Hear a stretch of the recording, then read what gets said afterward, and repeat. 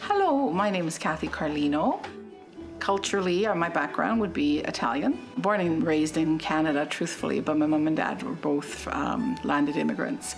And as is my husband, uh, our culture is very important, and a lot of what is our, our culture is the food around it.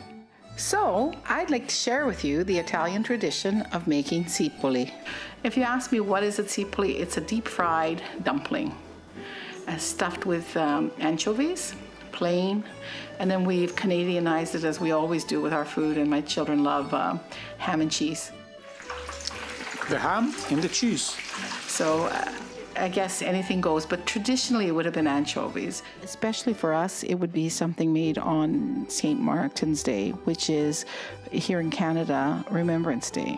When I was young, uh, my, I would see that my mom on that day would have us peel the potatoes. We all joined in at that point and peel the potatoes, boil the potatoes thoroughly. Uh, she would mash them. I fine tuned it to ricing the potatoes, but she would just mash them.